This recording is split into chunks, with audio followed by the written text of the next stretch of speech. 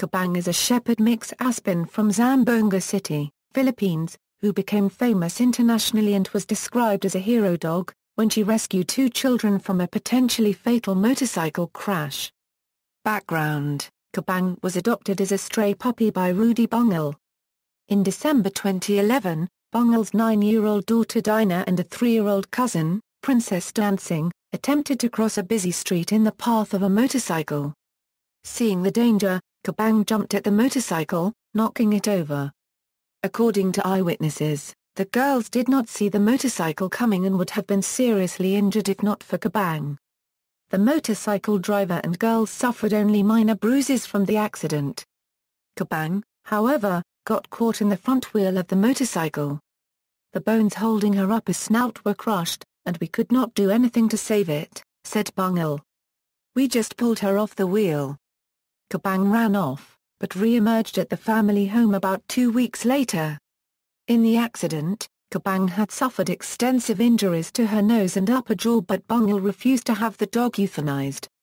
Kabang, heralded by the Philippine press as a hero, had difficulty eating but otherwise continued living normally and even became pregnant. However, over time her open mouth led to an infection, and as long as it remained open she was at serious risk for further problems.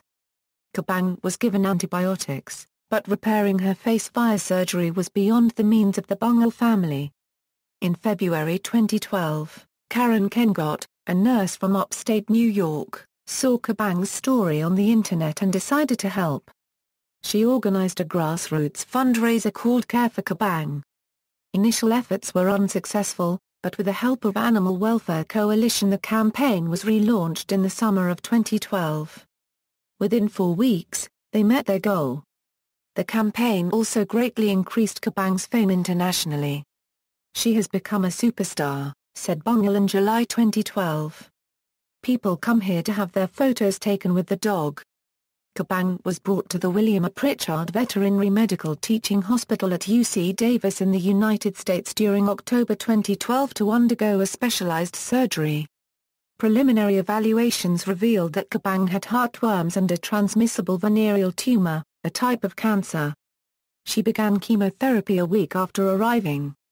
Because of Kabang's pre-existing conditions, surgery was delayed until March 2013 as she was treated.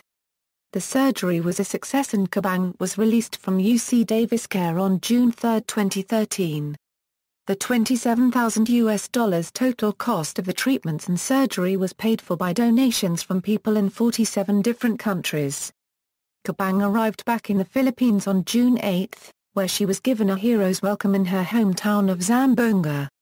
Veterinarian Anton Lim remarked, Kabang is as normal as she can be. She doesn't need any special medication. So aside from the aesthetic, she's normal. Further reading, references External links, Care for Kabang,